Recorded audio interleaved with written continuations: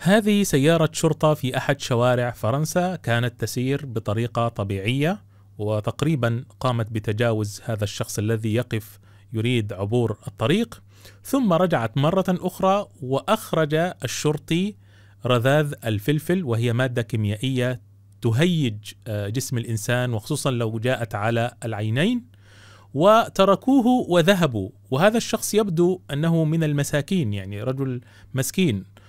تركوا هذا الرجل يعاني وذهبوا بكل وقاحة وبكل وساخة. هؤلاء حسب الأخبار المتداولة في فرنسا فعلوا ذلك بسبب الملل. يعني هم لم يفعلوا ذلك لأنه هذا مجرم. لو كان مجرما لنزلوا من السيارة وقبضوا عليه.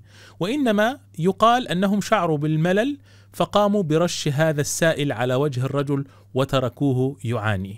فعلا رأيت إسلاما بلا مسلمين. والآن علمت لماذا الحكومة الفرنسية كانت تقاتل لإصدار قانون لمنع تصوير الشرطة. لهذا السبب حتى يرتكبوا الجرائم دون أي تصوير.